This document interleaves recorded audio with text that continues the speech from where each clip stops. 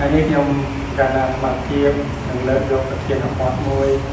ទៅតកតងនឹងការរៀបនៅក្រោមការចំពោះមុខសពដោយមានដាក់ពាក្យថារូបាំងទុក្ខំអនិច្ចំនិងអនត្តាជាធម្មតាខ្មែរយើងនៅសម័យបច្ចុប្បន្ននេះមានការអភិវឌ្ឍមានការរីកចម្រើន ទាំងសេដ្ឋកិច្ចទាំងវប្បធម៌ទាំងប្រពៃណីម្ល៉េះហើយពិធីបុណ្យសពនីមួយៗទោះបីជាគ្រួសារធំក្តីគ្រួសារតូចក្តីតែងតែមានក្រោមការនឹងបីបីបាច់ទី1គឺដាក់រូបស្ហតនៃសពហើយទី2គឺដាក់ស្លោកពាក្យស្លោករូបបាំងទុក្ខំអនិច្ចំអនត្តាមួយដាក់មួយទៀតគឺដាក់ជាតិចរិយាជាតិធិនិងមរណៈ ហើយក្នុងក្រោមនៃការហ្នឹងក៏មានចងកណាត់ពណ៌សខ្មៅដែរតែមានអត្ថន័យយ៉ាងណាបងអញ្ចឹងចង់បញ្ជាក់អំពីការជាធម្មតាយើងម្នាក់ម្នាក់តែងតែចូលចិត្តលំអងនៃក្លិនការឬសម្រស់នៃការនោះក្នុងវិធីផ្សេងផ្សេងយើងតែងតែយកការជូនជាវត្ថុអនុស្សាវរីយ៍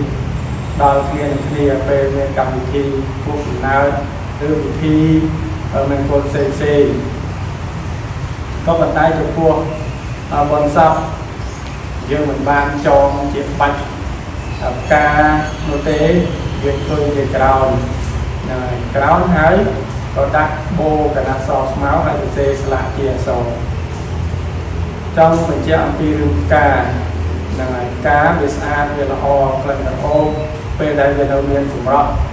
អញ្ចឹងពេលដែលផ្កានឹងអត់សម្រស់ ការនឹងអត់ន័យទេគេបោះចោលរត់រាយពេញទៅព្រៃពេញទៅវាហ្នឹងអញ្ចឹងយ៉ាងណាមិញបើប្រៀបធៀបមករូបរាងកាយរបស់មនុស្សយើងក៏មិនខុសគ្នាដែរពេលណាដែលយើងមានសម្ផស្សស្រស់ស្អាតល្អសាច់ឈាមភ្លឺថ្លាផ្លេកខ្មៅសក់ខ្មៅស្បែកល្អហ្នឹងហើយអ្នកណាក៏គេស្រឡាញ់អ្នកណាគេចូលចិត្តអ្នកណាគេកងប្រាថ្នាដែរប៉ុន្តែពេលណាដែល រូបរាងកាយនេះចាក់ជ្រាវជ្រួញទៅពេលណាដែលរូបរាងកាយនេះយកអសាសៈបក្សាសៈបញ្ចេញផុតអំពីកាយទៅคล้ายទៅជាអសុខคล้ายទៅជាសក់คล้ายទៅជារូបមួយដែលមានអត់មានតម្លៃអត់មានអ្នកណាចូលចិត្តហើយទីបំផុតគេនឹងខ្លាចរូបនោះមិនហ៊ានទៅចិត្តមិនហ៊ានទៅបៀតហើយរូបនោះបើសិនជាទុកយូរនឹងនឹងមានក្លិន អុយដែលគួរឲ្យខ្ពើមគួរឲ្យអាលពីក្រៅលេងអញ្ចឹងការយកការនេះជាការប្រៀបធៀបឲ្យយើងបានដឹងឲ្យយើងបានយល់ថាការក៏វាមិនខុសពីរូបមនុស្សដែរពេលដែលវានៅល្អគឺវាស្អាតពេលដែលវាអស់សម្រស់ហើយវាលេងស្អាតហើយអញ្ចឹងយើងឲ្យកុំកុំប្រកាន់ខ្លួនកុំប្រកាន់ខ្លួនថាខ្លួននឹងស្អាតថាខ្លួននឹងល្អប្រមាថមើលងាយរិះគន់អ្នកដទៃ គឺវាមិនខុសគ្នាទេដូចនឹងទោះបីអ្នកដទៃរូបអន់ជាយើងរូបអាក្រក់ជាយើងក៏ប៉ុន្តែ